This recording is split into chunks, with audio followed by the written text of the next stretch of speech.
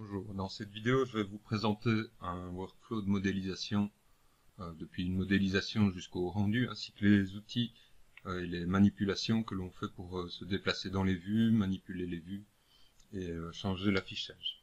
On va commencer par une simple petite modélisation. Avant de commencer une modélisation, comme d'habitude, on sait qu'on peut passer par Project Window pour définir son projet. Moi je vais rester dans le projet que j'avais défini la fois dernière. Donc si je voulais le récupérer, je vous rappelle, on commence par faire un set project, sélectionner son projet, on fait set et on est dans le projet qu'on a défini. On peut ainsi, quand on enregistre un fichier, se retrouver devant euh, directement dans le bon dossier et enregistrer euh, une scène que je vais appeler workflow workflow qui veut dire euh, c'est le, travail qu'on va effectuer, la séquence de travail qu'on va effectuer pour euh, créer une image en 3D. Donc on va commencer les modélisations. Pour commencer une modélisation, on peut faire un shift-clic droit et on a accès ici à différentes primitives. C'est donc la même chose que de prendre les primitives ici dans l'onglet Polymodeling ou Menu Create Polygone Primitive. Donc Shift-clic droit, je vais chercher par exemple une petite sphère. Je vais lui donner des dimensions que je connais, par exemple un rayon de 1, la remettre à l'origine, et si je veux la monter à une certaine hauteur, je vais la monter à une hauteur de 8 pour le moment, peut-être un peu haut, 4.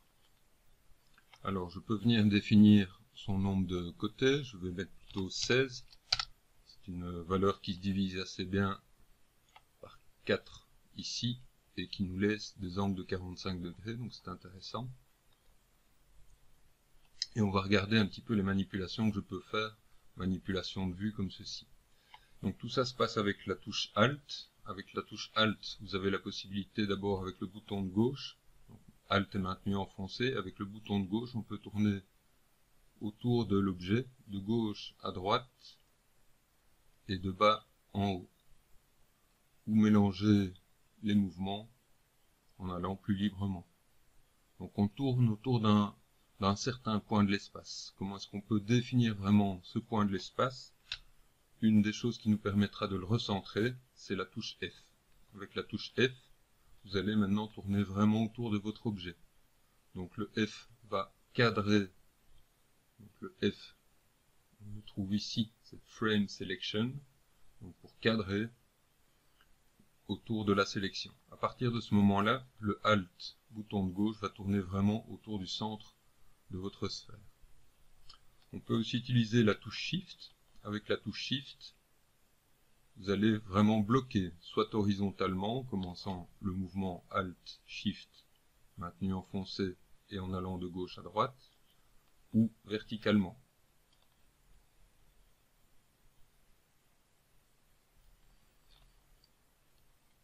Si on a plusieurs vues ici, le Alt est bloqué dans les vues qu'on appelle les vues orthogonales, donc top, front et side. Je vais avec la barre d'espace réagrandir ma vue ici de perspective.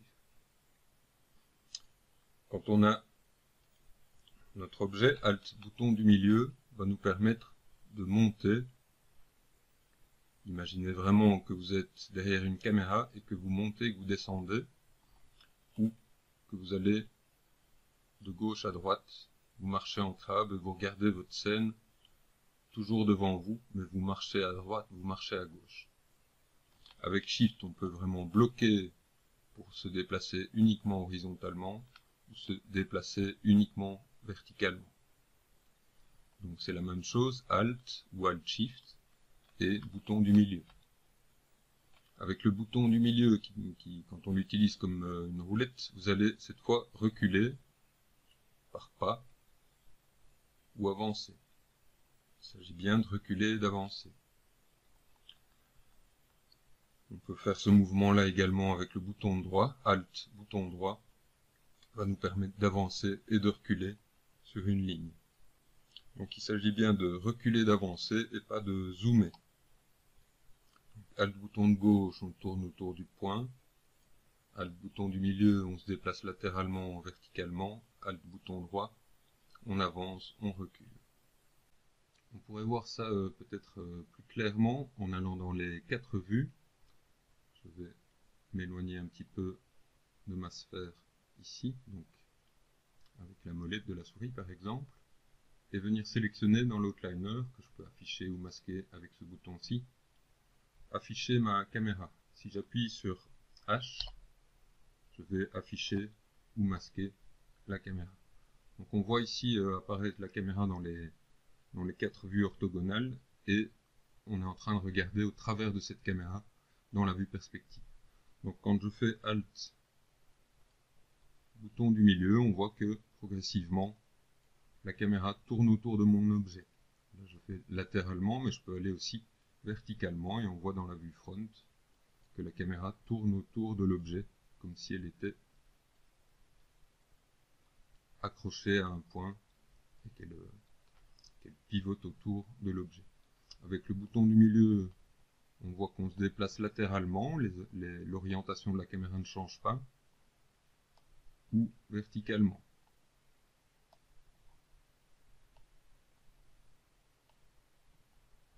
Et enfin, avec le bouton de gauche, de, droite de la souris, Alt, bouton droite de la souris, je me rapproche ou je m'éloigne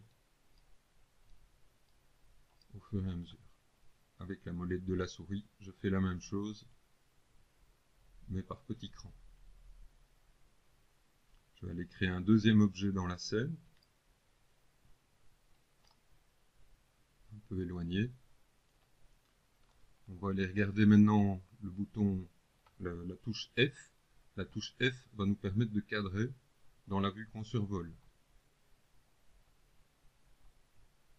La touche A nous permet de cadrer sur tous les objets.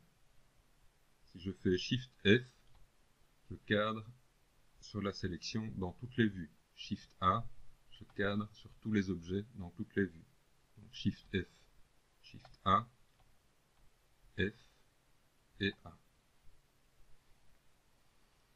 On peut aussi utiliser euh, la combinaison Alt plus Home la combinaison Alt plus Home dans la vue qu'on survole va nous permettre de recentrer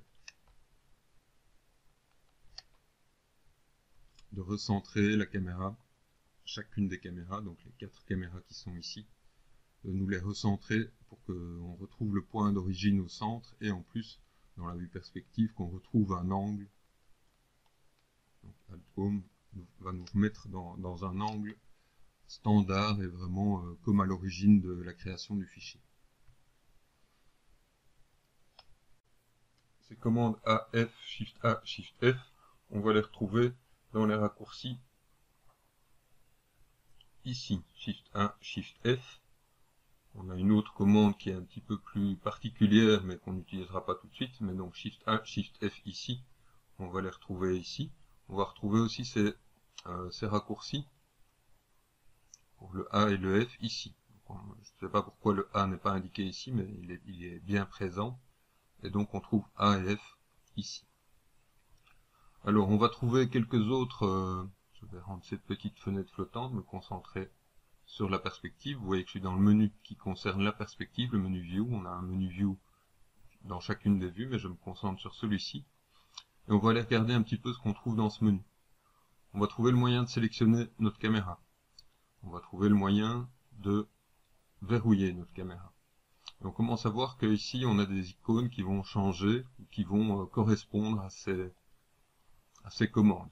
Donc ici ben, on a le, moyen de verrouiller, c'est-à-dire ici je ne peux plus faire de mouvement d'une vue. Ça servira par exemple quand on a placé une caméra pour un rendu, pour faire un rendu par exemple d'un intérieur, d'une modélisation d'intérieur, on a placé une caméra sous un certain angle et on ne veut plus la bouger.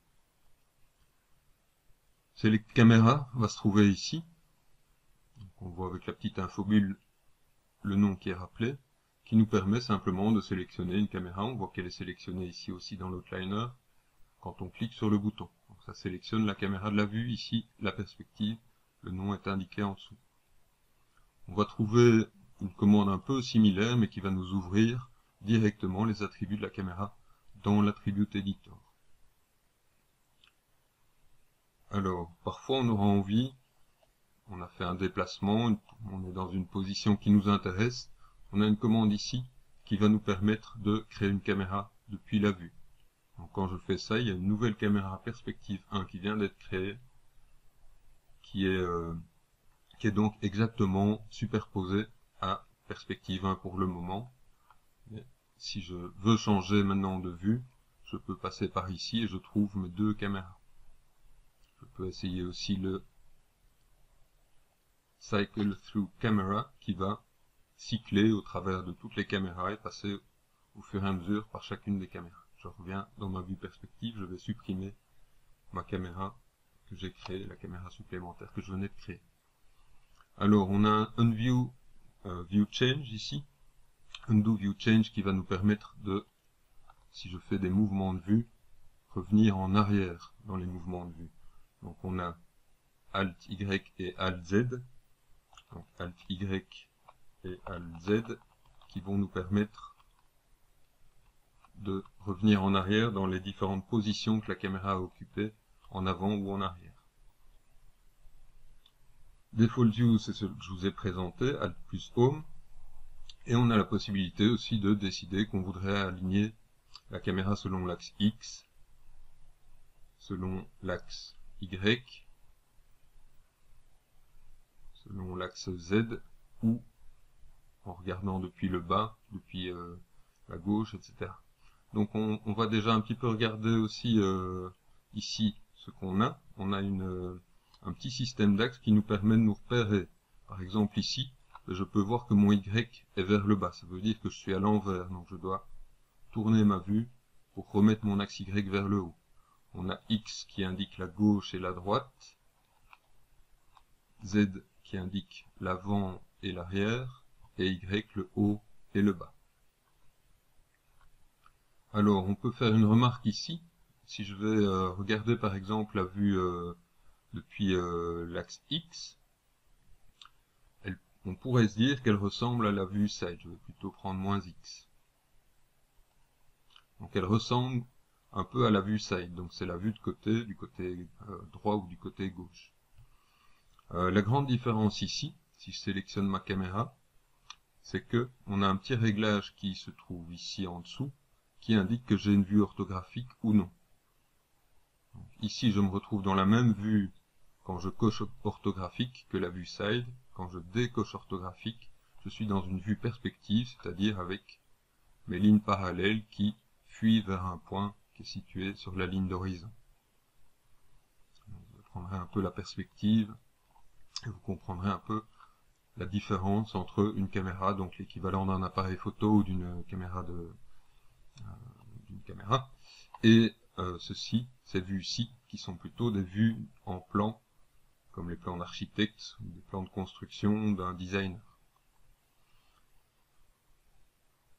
Alors, euh, on pourrait aussi utiliser Look at Sélection.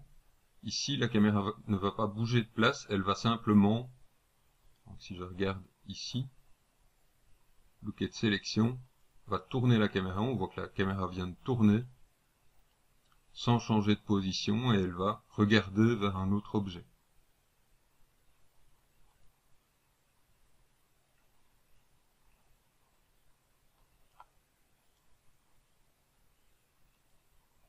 Ici, on a une commande qui va nous permettre de centrer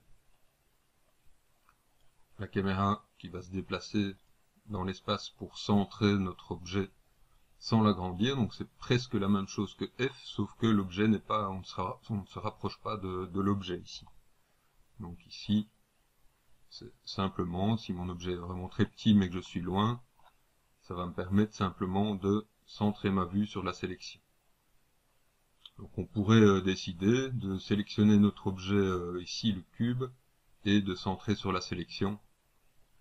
Donc il faudrait vraiment que je sois dans la dans le bon menu, mais je peux venir centrer sur une sélection donnée grâce à ce petit réglage.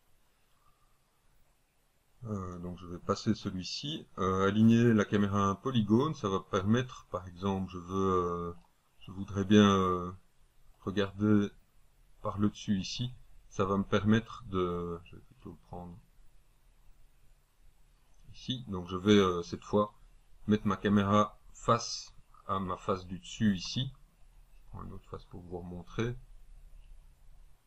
J'aligne ma caméra à la face que j'ai sélectionnée. Donc ce sera utile éventuellement en modélisation. Je descends un petit peu ici et j'arrive dans euh, ce qu'on appelle les bookmarks. Donc comme sur un navigateur web, on a des bookmarks, on les retrouve ici. Et par exemple, j'aime bien cette position de caméra ici. Je vais cliquer une fois dessus. Si je fais un clic droit maintenant, je vais obtenir Camera View 1 ici. Qu'est-ce que c'est Camera View 1 ben, C'est un enregistrement de ma position de caméra. On voit qu'il y a, si je vais sélectionner ma caméra, qu'il y a un onglet Camera View 1 qui a été enregistré et qui, euh, qui enregistre différentes positions. On va pas trop insister sur ça pour le moment.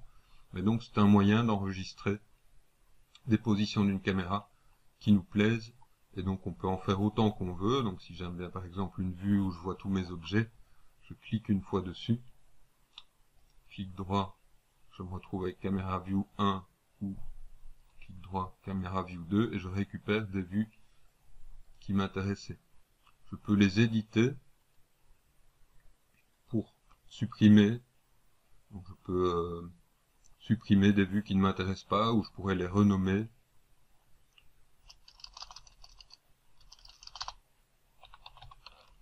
Vue d'ensemble. Je rappelle éviter les accents, les espaces. Donc euh, je colle les mots avec une majuscule qui me permet de, bien distinguer euh, deux mots. Mais euh, je ne mets pas d'espace ni d'accent. Je fais Enter et je me retrouve avec une vue enregistrée qui s'appelle vue d'ensemble que je pourrais récupérer à tout moment ici. On va retrouver dans cette liste-ci, menu View, Bookmarks, on va retrouver notre vue d'ensemble. Alors, si je descends un petit peu, on va se retrouver ici avec toute une série de petits affichages. Je vais aller les regarder. juste cette fenêtre là, les caméras settings. Donc ceci nous permet de changer une vue en perspective ou orthographique, c'est donc le même réglage que celui que je vous ai montré précédemment, celui-ci. On voit qu'on vient cocher la case ici ou pas. On a Undoable Movement qui devrait nous empêcher de revenir en arrière. Pas très intéressant. Euh, je vais euh, je vais passer ça pour le moment ça demande une, autre explication. Ici, on a la possibilité de faire quelque chose de très intéressant. C'est essentiellement le resolution gate qui nous intéresse ici. Qu'est-ce que c'est? Il s'agit en fait d'un moyen. Je n'ai pas d'éclairage, donc je ne vais pas voir grand chose. Je vais vite mettre un éclairage.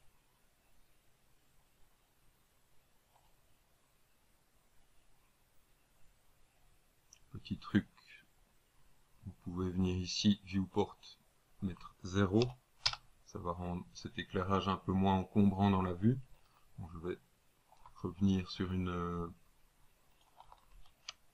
vue un peu normale avec Alt-O.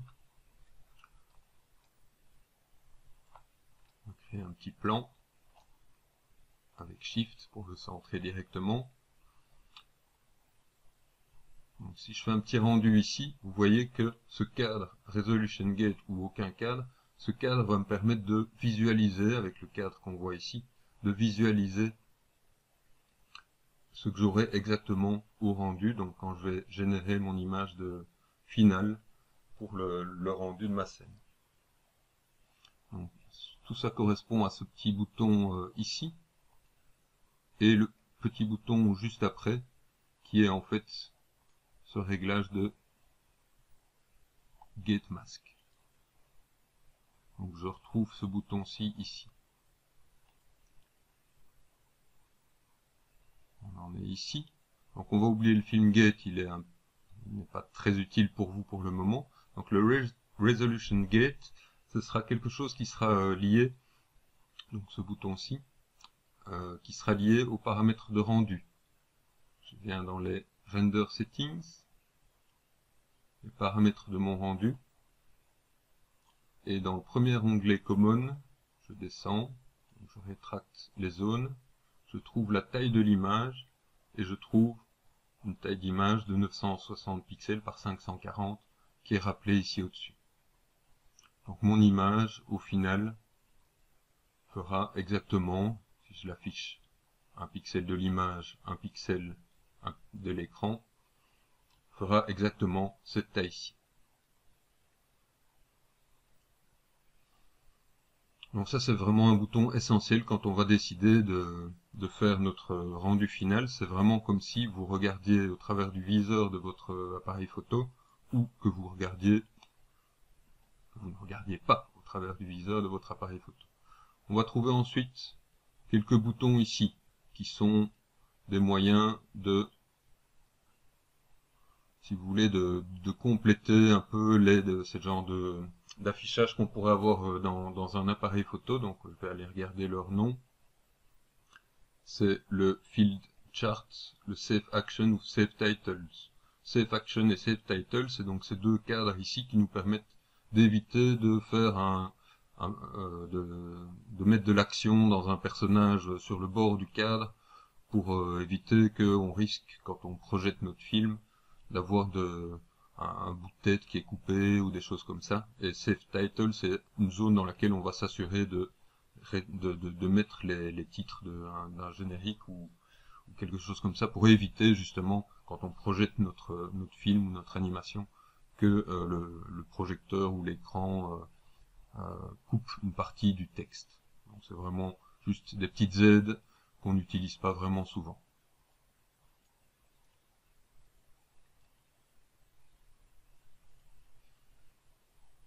Continue dans cette zone-ci. On va oublier tout ce qui concerne le, le, les films, donc film gate, film origine, film pivot. Euh, on trouve ensuite euh, toute une série de, petits réglages ici qui peuvent être intéressants, euh, qui demandent un tout petit peu d'explication. donc quand je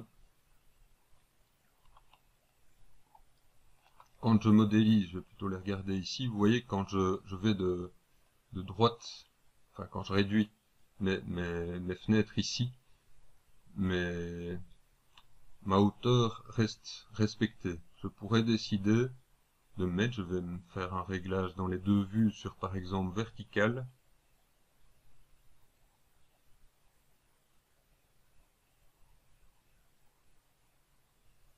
quand je fais ceci, Maintenant, quand je redimensionne ma fenêtre, la hauteur verticale de ma vue est, conservée. Donc tous ces réglages-là vont faire en sorte qu'on conserve simplement la hauteur et on évite de, zoomer, dézoomer, ou de se rapprocher, ici on peut vraiment dire zoomer, dézoomer ou se rapprocher, euh, s'éloigner.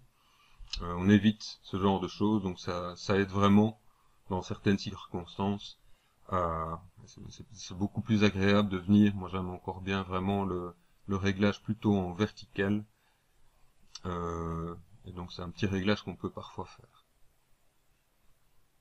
Caméra Attribute Editor, c'est donc le bouton qui est ici, qui va nous ouvrir les attributs de notre caméra. Je vais agrandir ma vue avec la barre d'espace. Et on va trouver ici, enfin, les Camera Tools. Les Camera Tools, c'est donc tous les outils en fait qu'on a utilisés. On a le Tumble Tool. Le Tumble Tool, c'est le Alt bouton de gauche. Simplement, on peut voir qu'on a éventuellement des paramètres à cet outil. On pourrait par exemple faire en sorte, je vais mettre 10. Le Tumble Tool maintenant tourne beaucoup plus vite. Je mets au contraire 0,1 et mon tumble tool est beaucoup plus subtil. Je tourne beaucoup plus lentement, c'est beaucoup plus subtil et on fait assez peu d'autres réglages. Parfois on viendra faire ce réglage-ci. Je vais vous montrer ce que ça donne. Quand je viens sélectionner un vertex maintenant, on va tourner autour de ce point-là reprendre mon Tumble Tool, je vais mettre ça ici. Tumble Tool, si je me mets dans centre d'intérêt quand je tourne. Je suis en train de modéliser autour de ce point-là. Quand je tourne, vous voyez que ça se déplace un petit peu difficilement. Tandis que si je viens avec le tumble pivot et euh, mettre le tumble pivot autour de ma sélection, je tourne cette fois autour de mon petit point ici. Donc c'est un petit réglage qui peut être de temps en temps agréable. Je fais un reset tool et je récupère mes valeurs par défaut. Clic droit, je reviens en mode objet. Track tool, c'est donc le déplacement latéral vertical, c'est donc l'équivalent du Alt bouton du milieu. Le Dolly Tool, j'avance, je recule ma caméra, c'est donc l'équivalent du Alt bouton de droit. C'est donc vraiment parfois aussi utile de changer le scale ici. Je viens par exemple mettre 1, et quand je me déplace, je me déplace plus lentement. Si je mets 100 ici, vous voyez que je perds très très vite. Je me perds très très vite dans ma scène, mais c'est parfois utile. Ici, euh, j'ai une scène qui fait euh, une, euh, une, trentaine de centimètres ou 20, oui, quelque chose comme une trentaine de centimètres, mon plan, je pense. Donc on va aller vérifier ça. Mon plan fait une trentaine de centimètres ici. Euh, mais parfois, quand on modélisera une rue, ben, on aura plutôt, euh, plutôt euh, des, une trentaine de mètres. Et donc, il faudra aller beaucoup plus vite. On multipliera la vitesse du track par 100. On va trouver ensuite le Zoom Tool. Le Zoom Tool, c'est ce que vous avez l'impression peut-être que vous faites avec le Alt bouton droit. Le Zoom Tool fait quelque chose d'assez proche.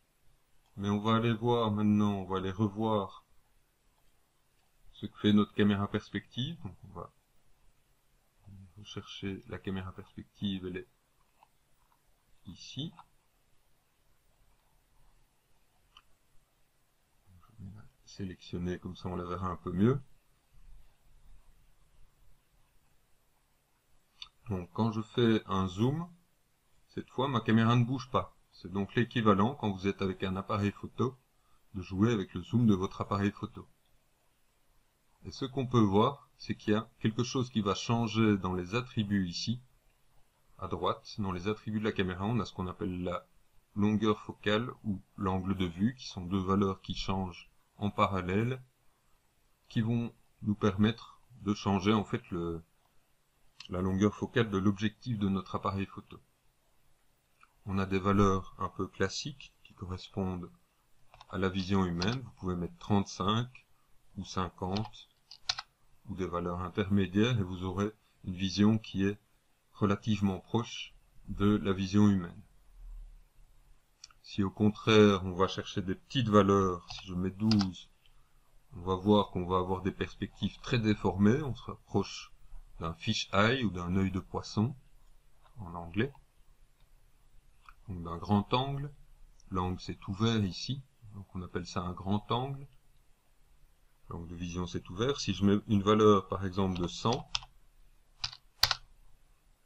je vais appuyer sur F pour cadrer, vous voyez que je suis avec très très peu de perspective ici. Il y a un peu de perspective mais il y en a très peu. Et je suis plutôt avec un objectif photo comme un paparazzi ou un, ou, euh, un télescope. La longueur de mon objectif, si vous voulez, s'allonge, s'allonge, s'allonge, et je vois beaucoup moins de, de décor autour de mes objets. Donc j'ai beaucoup moins de perspective.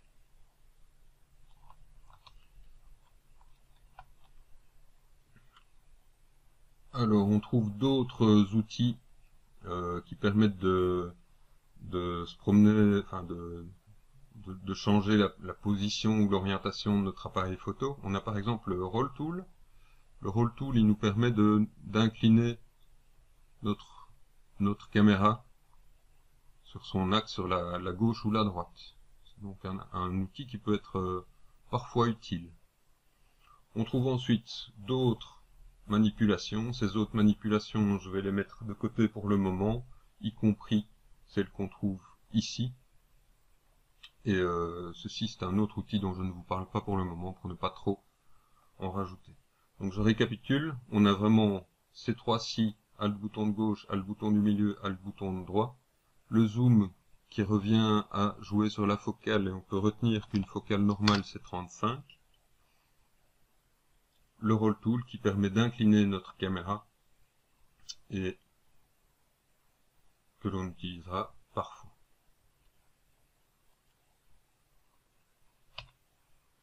Vous pouvez revenir une fois que vous avez utilisé ces outils-là sur le Select Tool et vous revenez dans une configuration, une manipulation normale de votre vue avec les boutons Alt et les boutons de la souris. On a parlé des raccourcis A et F. Euh, je voudrais quand même montrer une chose euh, qui peut être intéressante. Je vais prendre plusieurs objets ici. Euh, je suis dans l'outliner, je vais juste décocher, compliquer un petit peu mon outliner. juste pour avoir un peu plus d'objets, je peux, vais le réduire un petit peu. mettons que vous êtes dans l'outliner, donc vous êtes ici, donc ici j'ai divisé mon outliner, en fait j'ai un double outliner. J'appuie sur F le F va me permettre aussi ici de venir, donc imaginez que vous êtes dans une scène où il y a des, dizaines et des dizaines d'objets, le F euh, va vous permettre de récupérer votre objet. Je suis passé ici dans le menu display, j'ai été euh, décocher une case ici, qui me permet en fait de filtrer ce qui est affiché. Ici, quand cette case est cochée, on ne voit dans la liste que les éléments qui peuvent être positionnés dans l'espace. Ici les caméras, une lumière, nos objets modélisés. Si je décoche ça, je vais voir en plus plein d'autres choses. Je vais voir par exemple polycube ou polyplane. Qu'est-ce que c'est ça? Ben, C'est les onglets qui correspondent à la création de nos modélisations. Donc on voit en fait tous les objets, tous les objets, tous les, euh, tous les éléments qui sont présents dans notre scène et plein de choses qui sont un petit peu encombrantes pour vous au début. Donc je vais, euh, masquer ça. On pourrait voir aussi par exemple l'Ambert 1. Le Lambert 1 c'est le matériau qui est utilisé pour les objets de votre scène. Donc euh, on préfère la plupart du temps juste cocher cette case-ci. Si on coche shapes, si on coche matériel, on pourra voir même en plus si je viens euh, ici, vous voyez que j'ai Shape, donc ça c'est un des autres onglets de votre euh, cube ici, c'est le deuxième onglet. Donc voilà, c'est un moyen euh, ici, le menu display, de ne pas tout afficher pour ne pas être trop encombré. Donc typiquement, vous pouvez retenir que les trois premières cases doivent être cochées, décochées, décochées. Et donc la touche F peut être utile ici, elle pourrait être utile dans d'autres fenêtres comme le Node Editor ou euh, le Graph Editor quand on va éditer les courbes d'animation. les raccourcis A et F sont aussi utilisés et dans des, fenêtres comme le Graph Editor, on pourra également faire des, des, des zooms et des déplacements avec le Alt bouton du milieu. Donc c'est vraiment des raccourcis qui sont essentiels.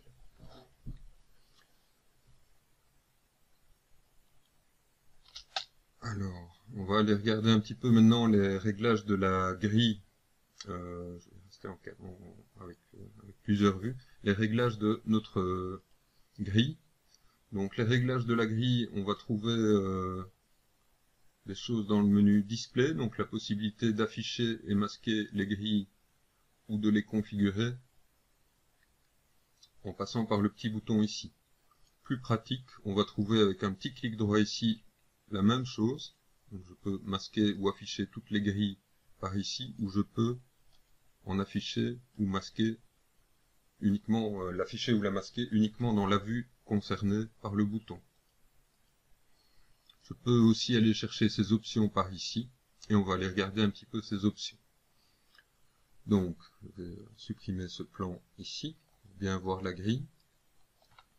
Pour le moment, elle fait 12 unités longueur et largeur, elle fait 12 unités, c'est-à-dire il y a 12 petits 12 cm à gauche, à droite, devant, derrière, euh, devant et derrière, si je, m'oriente bien, euh, devant et derrière, à gauche, à droite.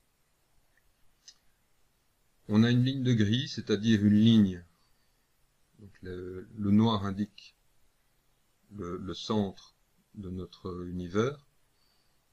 Les gris plus foncés ici indiquent nos premières divisions. C'est-à-dire qu'on a une ligne tous les 5 cm. Je vais en mettre une par exemple tous les 10 cm. J'applique et j'ai une grille tous les 10 cm. Je subdivise ensuite ceci par 1. Je ne fais pas de subdivision. Je le subdivise par 10. Je vais avoir une ligne tous les 10 cm subdivisée chaque centimètre. Donc on aime bien ce réglage de base 5 cm subdivisé 5 fois ça va nous donner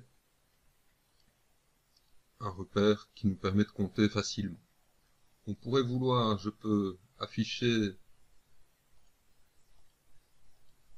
si je veux numérotation, si je veux m'aider, donc je suis en centimètres, je peux voir que je suis tous les 5, 5 cm, 10 cm.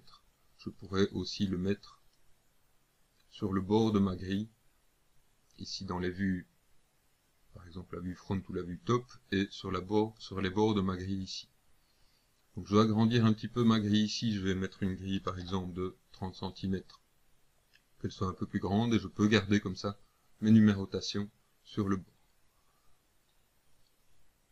Je peux choisir d'afficher ou de masquer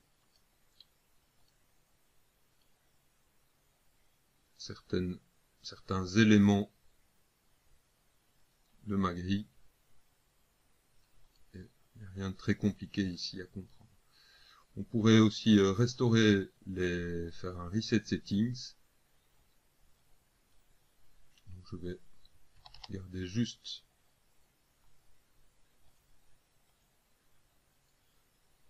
les réglages qui m'intéressaient. Et donc j'ai reconfiguré ma grille de manière un peu plus, un peu plus agréable. Je vais aller revérifier les paramètres ici, parce qu'il me semble que ça va un peu vite. Je fais un reset tool, comme ça, mon panne est un peu moins rapide. Pour parler de la suite des, boutons ici de, l'interface, j'ai modélisé une, petite scène, donc je vais revenir très très rapidement sur euh, l'idée euh, de la modélisation. Donc pour modéliser, on va par exemple partir d'une forme. Un premier cube ici. Je vais l'isoler. J'ai un bouton ici qui me permet d'isoler une modélisation. J'appuie sur F.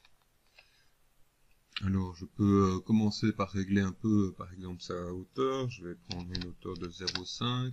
Je vais plutôt venir CTRL A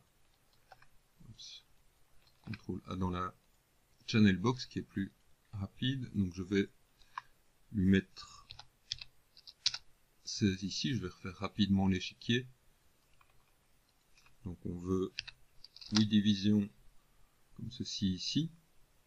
Donc ça, me donne une forme de base pour l'échiquier et pour modéliser, ben, je dois venir dans des modes euh, comme les faces. Je vais peut-être ouvrir Modeling Toolkit pour qu'on voit qu'on est en mode face ici. Je peux utiliser toutes sortes de d'outils de, modélisation. Je vais pas les expliquer pour le moment. Mais vous voyez ici que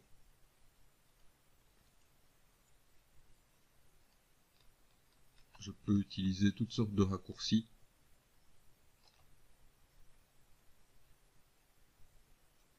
qui pourrait me permettre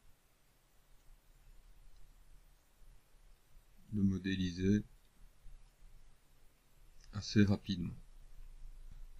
Alors je m'arrête ici simplement pour euh, cet exemple-ci de modélisation. Donc on aura vraiment moyen de, travailler sur euh, la modélisation avec, avec toutes sortes d'outils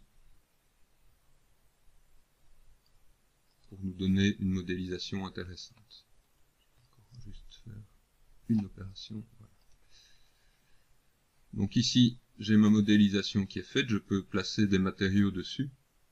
Donc je peux placer un matériau comme ceci, clic droit sur l'objet et je viens mettre l'AI standard surface.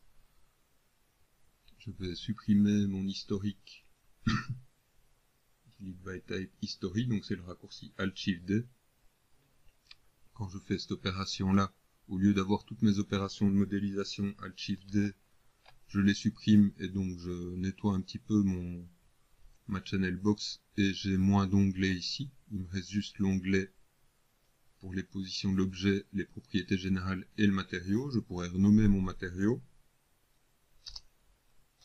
Lui donner un nom, par exemple, euh, je vais l'appeler euh, AISS test. Et on va regarder un petit peu ce qu'on peut faire, euh, ce qu'on peut voir ici.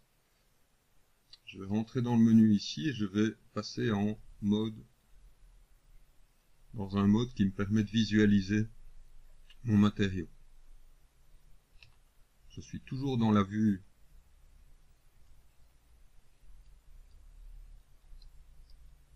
dans la vue ici de, de Maya, mais en plus je superpose mon matériau. Donc je suis passé par le menu Renderer, Arnold, j'appuie sur le petit play ici, et je peux visualiser comme ça mon, mon matériau. Donc quand on règle un matériau, les tout tout premiers réglages qu'on peut faire, on peut venir se mettre à 1 ici, et utiliser ce champ-ci pour définir une couleur. Par exemple, prendre du bleu,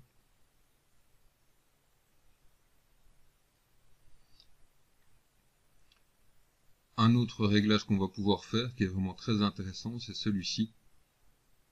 Trop bien le voir ici, je vais plutôt faire le réglage sur le, sur le sol, vous verrez beaucoup mieux. Si je sélectionne mon sol, ici, je peux régler sa couleur, et ce réglage-ci va me permettre d'avoir une réflexion de type miroir ou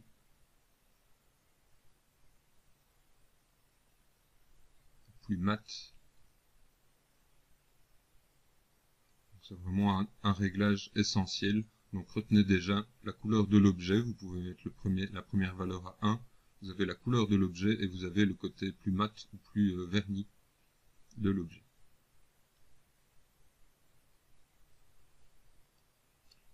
Alors, je pourrais également je pourrais également faire des poser des matériaux par face et je pourrais aller choisir ici moi je me suis déjà créé des matériaux euh, donc je pourrais euh, sélectionner plusieurs faces en même temps. Je ne vais pas le refaire parce que ça va prendre quand même un certain temps. Et aller mettre mon matériau blanc sur ces faces-là, mon matériau noir sur les autres faces en alternance. Je me suis donc déjà créé des matériaux noirs, des matériaux blancs. Et c'est comme ça que j'ai créé ici le matériau sur mon objet euh, échiquier. Alors, je vais revenir sur une simple sphère, je vais rester sur ma scène à moi, donc je vais quitter mon mode d'isolation.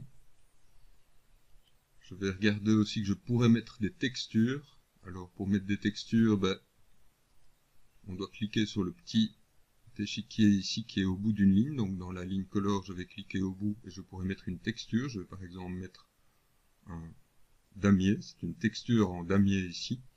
Donc je peux changer ses couleurs. Et je vais pouvoir faire différentes choses comme de répéter la texture. Ici elle est répétée quatre fois, donc si elle était répétée une fois sur mon plan, on aurait cette texture-ci. Je vais la répéter une trentaine de fois.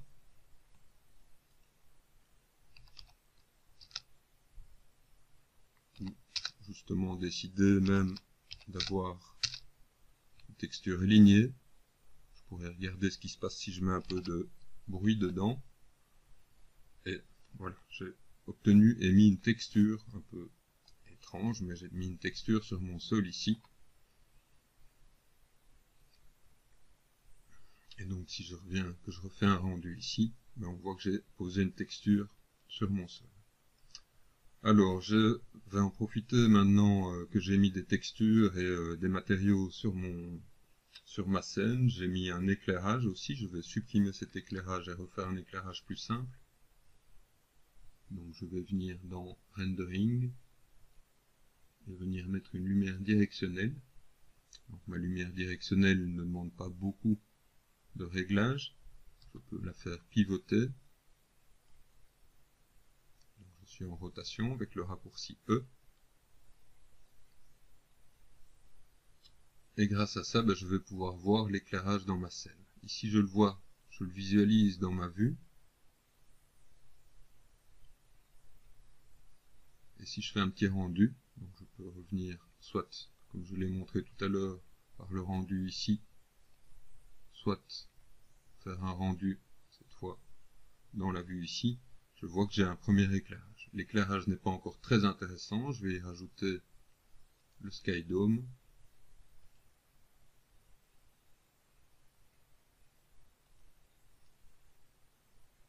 Diminuer un peu son intensité. Changer un peu sa couleur. Pour ça, je peux soit changer la couleur ici, soit utiliser les couleurs, la température de couleur aller vers un éclairage un peu bleuté ou un éclairage plus chaud.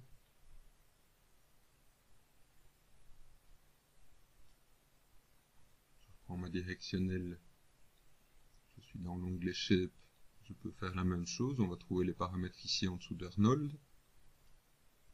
Et cette fois je vais faire une lumière un peu plus chaude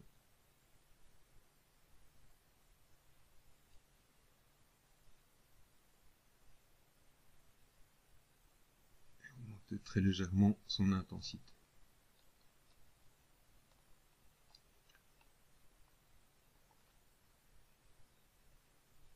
Donc ça c'est un peu l'idée de ce qu'on va faire quand on modélise une scène. On va modéliser la scène, euh, on ira positionner aussi les objets. Euh, pour positionner des objets, on va faire des opérations. Je fais un cube ici. Si je veux mettre mon cube, je vais le faire un peu plus petit.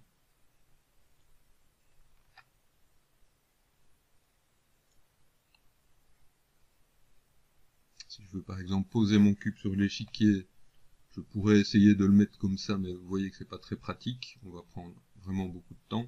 On fera des opérations comme de repositionner le point de pivot. C'est-à-dire, je vais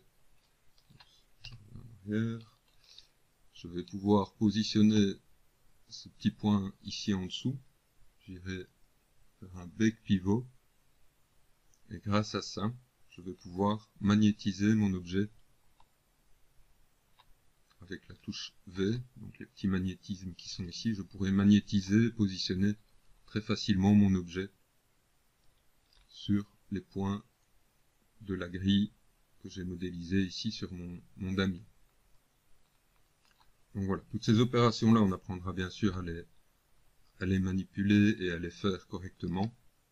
Mais voilà pour vous donner une petite idée de comment on va procéder euh, ici. Donc je vais regarder maintenant euh, ces différents réglages ici qui vont nous aider lors de la modélisation. D'abord, je vais tout éteindre ici. Ces réglages, on va les retrouver euh, dans le menu ici.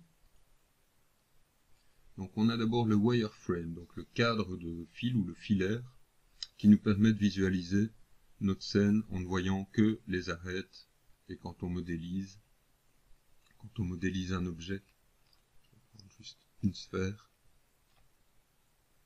je vais pouvoir passer en vertex et vous voyez qu'on voit au travers de l'objet.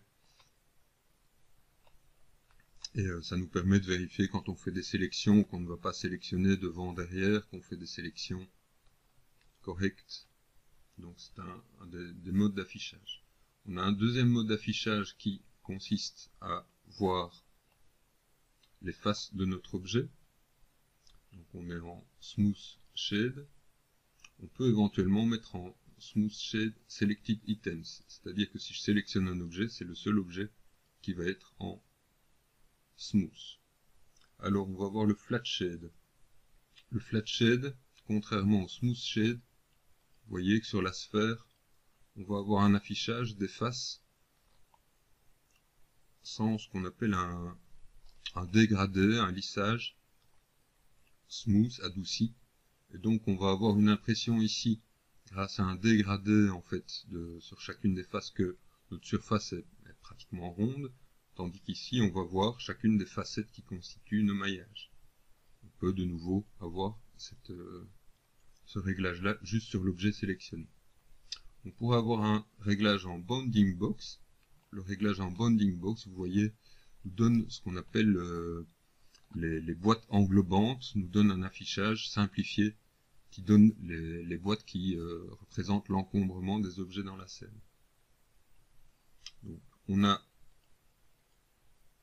ces trois touches-ci, euh, ces trois touches-ci, pardon, qui vont nous donner le réglage en filaire, c'est la touche 4, la touche 5 sur le pavé numérique, et la touche 6, 4 et 5, pardon, qui nous euh, donne ces deux affichages-ci. La touche 6, elle, va nous afficher les textures.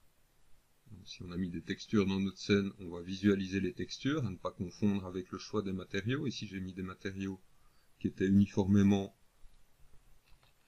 des matériaux, euh, un matériau blanc, un matériau noir, un matériau gris que j'ai mis sur certaines faces, ce qui n'est pas du tout la même chose que d'avoir mis une texture. Ici, j'ai lié connecter une, texture qui était euh, une sorte de damier que j'avais un peu déformé.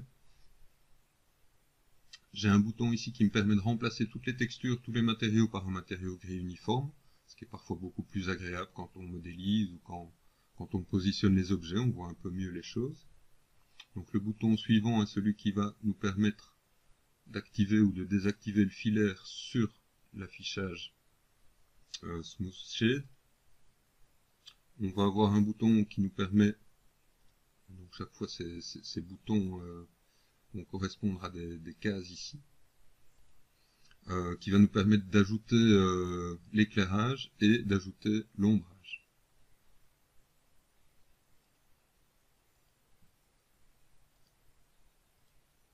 On a une case ici qui va nous rajouter un petit sentiment d'accrochage des objets. Vous voyez que ça nous donne une sorte de, légère ombre ici. Je vais masquer ma grille. ça nous donne ce qu'on appelle l'ambient occlusion, qui nous aide à, voir si les objets euh, s'accrochent bien sur les, sur les surfaces. c'est une sorte de, faux sombre calculé. On a ici un bouton qui nous permet de faire du faux flou de mouvement, on va passer ça.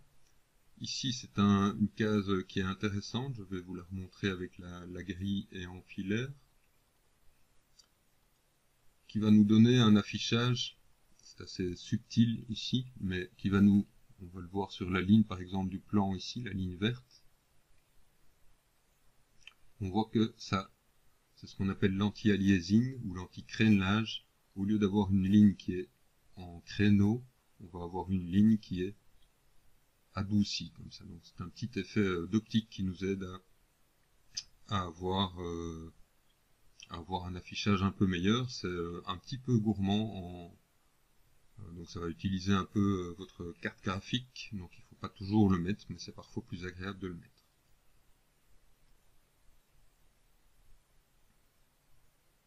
il y a deux autres boutons ici, mais donc c'est des histoires de flou, ça je ne vous en parle pas, c'est pas, pas tout à fait utile. Alors on a un autre affichage un peu plus loin ici, qui est le X-Ray affiche le filaire par-dessus. C'est un affichage qui va nous aider à, bien visualiser. Je vais utiliser le raccourci Alt-B. Je vais un petit peu. Alt-B va nous faire cycler. Je vais masquer ceci pour le moment. Alt-B va nous faire cycler entre différents fonds, couleurs de fond, qui sont pas du tout les couleurs qu'on va avoir au rendu. C'est juste une, une couleur qui est dans la, vue de Maya. Donc c'est le raccourci Alt B.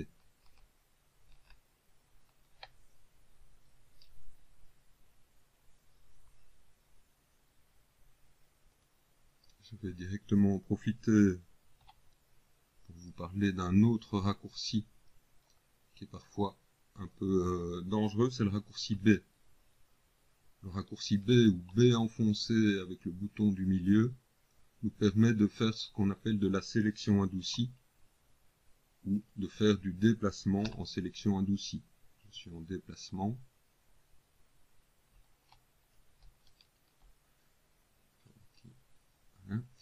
je viens en déplacement ici et vous voyez que j'ai un dégradé. Euh, ce, dégradé, je peux, prendre le, sommet de ma sphère, va me permettre de faire du déplacement, vous voyez, avec une zone d'influence. Donc c'est le raccourci B. Et je vous le montre déjà, sans cette sélection adoucie, avec cette sélection adoucie. Je vous le montre déjà parce qu'il pourra vite vous ennuyer. Donc ce raccourci B, il est au-dessus de la barre d'espace. On l'active, on le désactive souvent par erreur. Euh, et donc euh, faites attention si vous voyez un dégradé dans votre vue à vous dire c'est le raccourci B et je peux le désactiver en réappuyant sur B brièvement.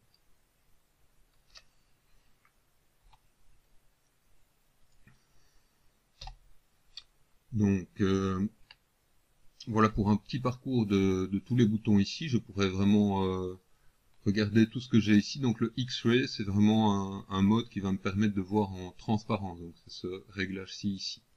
On a quelques autres euh, réglages ici dont, qui, sont liés aussi au, X-Ray, mais je ne vais pas vraiment en parler euh, parce que ça demande beaucoup trop d'explications. On a ce raccourci euh, si euh, enfin on a encore d'autres, euh, je vais dire, raccourcis euh, qui permettent de changer la vue, mais qu'on verra plus tard quand on, quand on apprendra à modéliser. Alors je quitte mon mode de rayon X ici. Ici on a des réglages qui, qui vont nous permettre de changer le,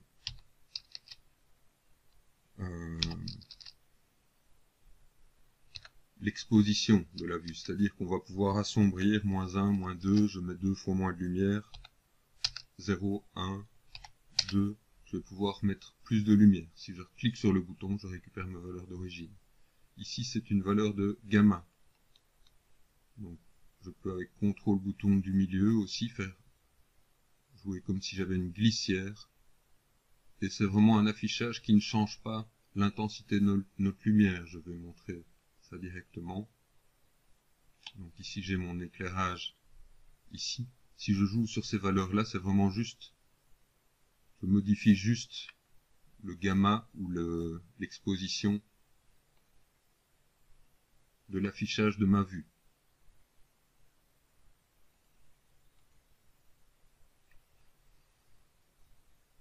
Ceci, je ne vais pas en parler maintenant, c'est un peu compliqué. On aura également pour le rendu ce genre d'affichage. J'en reparlerai plus tard. Voilà qui fait donc, et donc vraiment, si je veux euh, faire des réglages pour, euh, pour mon rendu, ce sera vraiment les intensités des lumières qu'il faudra régler, et non pas, non pas ces, ces cases ici. Alors, on va aller regarder un petit peu euh, ce qu'on trouve dans le menu lighting ici. Euh, donc déjà ici, je vais vous montrer euh, Backface Culling. Backface Culling, c'est une petite case qui, on va mieux le voir en dessous du plan ici. Je vais masquer la grille. Donc ce qu'on peut observer, ben, ici j'ai deux surfaces qui sont vraiment pile l'une sur l'autre. Donc j'ai parfois ce petit, ce genre d'artefact. C'est tout à fait normal, c'est parce que j'ai des faces qui sont superposées. Ici, la face elle est noire, non pas parce qu'elle n'est pas éclairée, elle est, éclairée euh, par le bas, mais c'est en fait parce que euh, chacune des faces en fait est constituée euh, d'un recto et d'un verso. Ici, le recto est gris, le verso est noir. Le backface culling, c'est l'idée qu'on va pouvoir ne pas voir les versos. si je prends une sphère et que je supprime certaines de ses faces,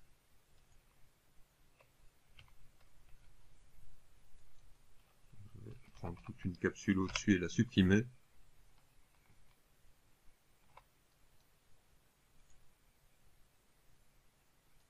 Le backface culling me fait disparaître les faces intérieures.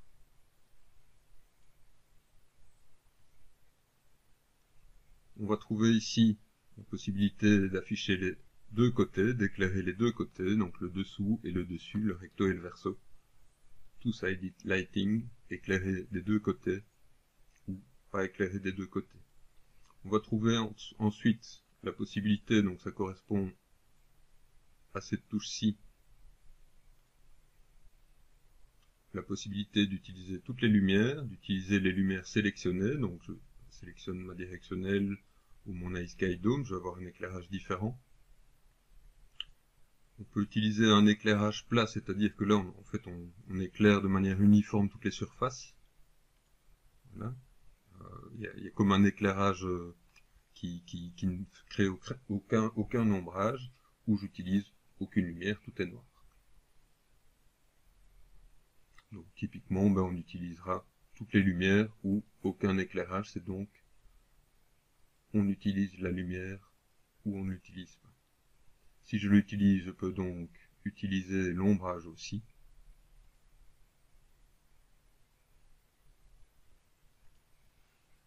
Et voici qui conclut ce petit menu assez simple. Dans le menu show, je vous en avais déjà parlé, je vais montrer ça avec deux vues. Je pourrais choisir dans le menu show de ne pas afficher mes éclairages par exemple. Donc show, je viens décider que dans cette vue-ci, je n'affiche pas les éclairages. Donc ma lumière directionnelle va apparaître, disparaître, si je choisis d'afficher ou pas les éclairages, mais ça ne concerne que cette vue-ci. Si je veux le faire pour toutes les vues, je peux le faire par le menu display. Et là, je vais pouvoir décider de montrer, show, ou de cacher, hide, toutes les lumières dans toutes les vues.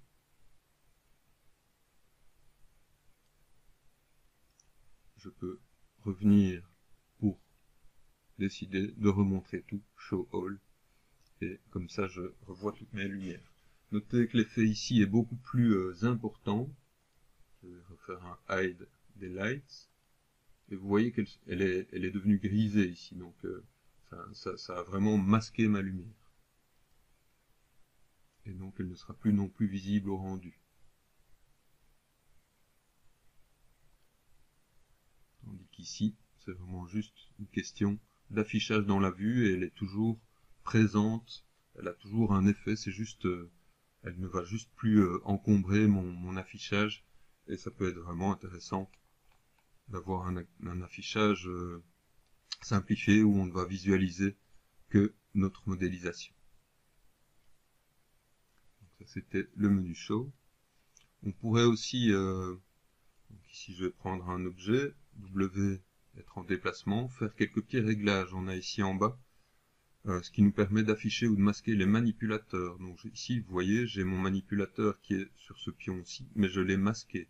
Donc c'est le manipulateur de déplacement. Faites attention que ça peut le faire disparaître et vous euh, vous ennuyez. On a l'affichage de la grille juste en dessous ici, qui correspond donc à cette case à cocher ici.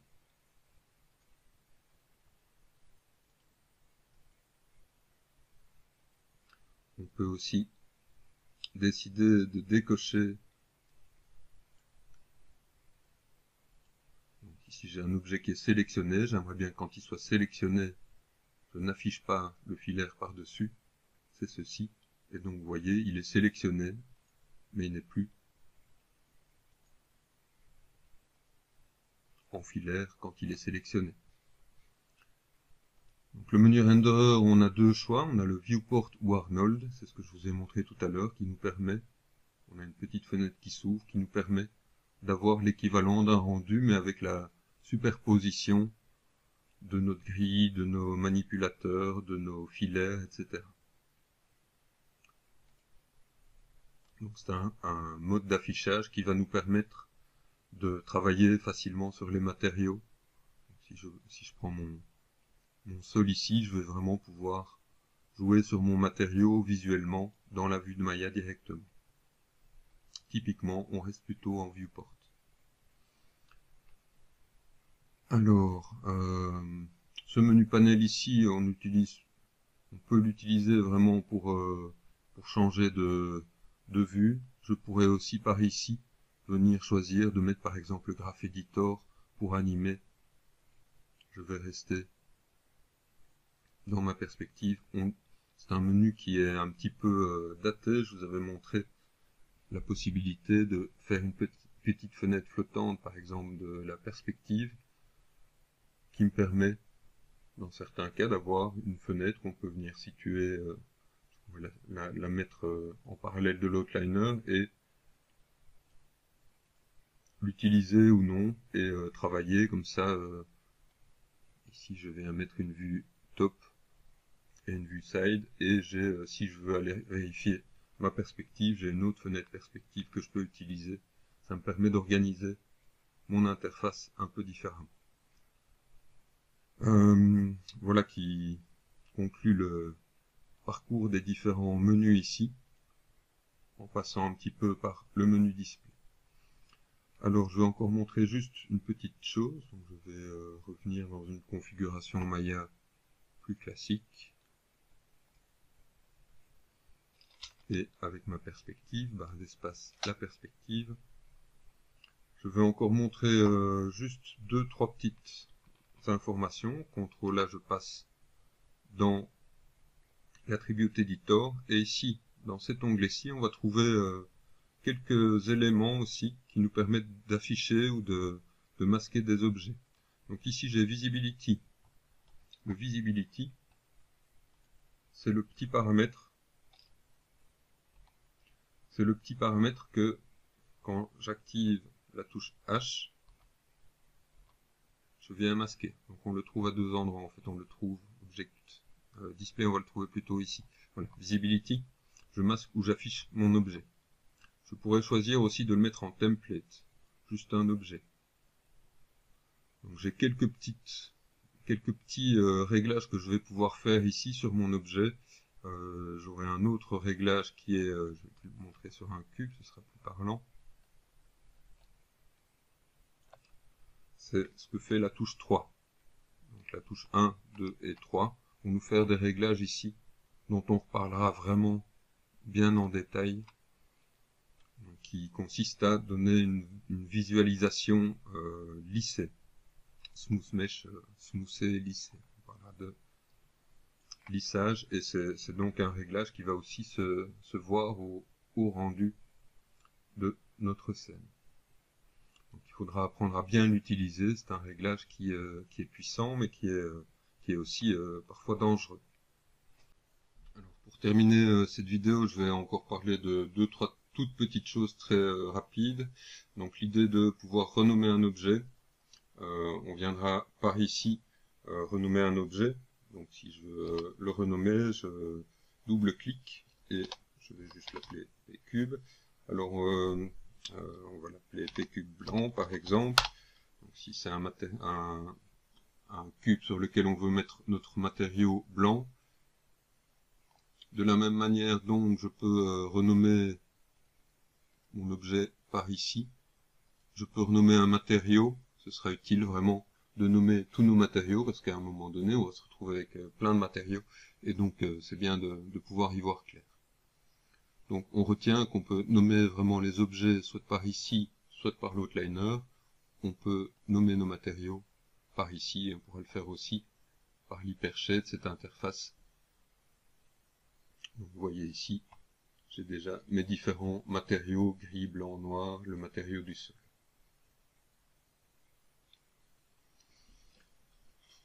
Alors on apprendra aussi à organiser euh, l'outliner. Je pourrais euh, par exemple euh, avec le bouton du milieu venir mettre un objet sous un autre. Si je fais ça, le bouton du milieu me permet de glisser un objet soit entre deux objets, soit sur un objet. Et ceci va me permettre de créer des liens entre les objets comme ça. Donc j'ai fait ceci et j'ai aussi groupé, j'ai renommé tous mes pions noirs, j'ai renommé tous mes pions blancs en les numérotant, je les ai groupés. Donc grouper des objets, je vais grouper par exemple deux autres objets, c'est je prends deux objets ici, je fais CTRL G, c'est la commande ici qui permet de grouper. Il des petites options qu'on apprendra à utiliser. Et je peux renommer mon groupe. Donc ça, ça va m'aider à organiser un peu mon outliner. Je peux aussi dégrouper, un groupe, et supprimer un groupe qui existe. Donc je pourrais par exemple grouper mes lumières, CTRL G, et appeler ça le groupe des lumières, groupe light. vous voyez que ça, ça va me permettre vraiment euh, de d'organiser mon, mon outliner. J'ai fait ici un groupe des pions noirs, un groupe des pions blancs. J'ai groupé ces deux groupes pour faire le que j'ai mis sur les... Euh, je les ai pas groupés, pardon. Je les ai mis euh, sur l'échiquier. Et ça me permet, si je veux, de déplacer mon échiquier directement avec tous les pions. Donc les objets ont été euh, bien positionnés, ont été groupés, etc. Je peux enregistrer mon fichier, bien entendu, qui avait déjà été renommé. Je vais terminer cette vidéo par un petit rendu de l'image. Donc pour le moment, on est dans la vue de Maya et on n'a encore pratiquement rien fait qui servait à quelque chose, vu qu'on n'a encore généré aucune image euh, finale. Donc pour générer une image, on passe par la fenêtre de rendu d'Arnold. On peut bien sûr choisir un angle de vue euh, plus intéressant que celui. Prendre le temps évidemment de, de, de, cadrer tout ça. Donc je vous rappelle, on a aussi la possibilité de prévisualiser dans la vue grâce à ce bouton-ci, de prévisualiser ce qu'on voit exactement au rendu laisser le temps que le rendu se fasse. Il faudra faire quelques réglages pour euh, la qualité de, notre rendu. Et on pourrait enregistrer notre image par ici. On voit qu'on se retrouve dans notre projet, mais pas dans le bon répertoire. On pourrait renommer du coup notre, image par ici. Ça, c'est une première possibilité. On a éventuellement une petite option à régler dans les, euh, options ici.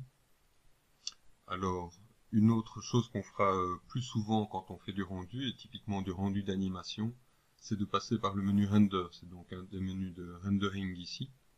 Et dans le menu Render, on passera par le rendu en séquence. Alors, on passera aussi par les Render Settings. Dans les Render Settings, on pourra venir définir le nom de notre rendu. Par défaut, le nom de notre rendu va s'appeler se trouver dans le répertoire projet, mon projet, le sous-répertoire image, donc ça c'est très intéressant, et il va s'appeler le nom de notre fichier .exr, c'est-à-dire l'extension que je choisis ici. En faire un PNG, par exemple, qui, nous permettra de le visualiser plus facilement. Je pourrais choisir la résolution de mon rendu ici, je pourrais choisir des formats comme un format carré ou un format euh, 4 tiers. Je peux aussi être en format HD, 720, 1080. Je vais rester sur un format qui sera calculé plus rapidement ici. Et donc quand je fais mon rendu en, en séquence, je vais pouvoir définir ici, donc il va effectuer mon rendu et directement l'enregistrer dans mon explorateur à l'endroit qui est spécifié par le chemin qui est défini ici. Donc desktop sur le bureau, dans mes projets, mon projet, dans le sous-répertoire images. Ce qu'on voit ici, en ouvrant l'explorateur, je me retrouve donc dans mon projet qui est défini ici dans le répertoire euh, projet que j'avais euh, choisi euh, en, faisant mon set project dans, Project Window et je retrouve mon rendu qui se situe ici. Il a pris le nom de, mon fichier ici parce que je n'ai rien défini de très particulier dans cette zone-ci. Voilà qui conclut cette vidéo.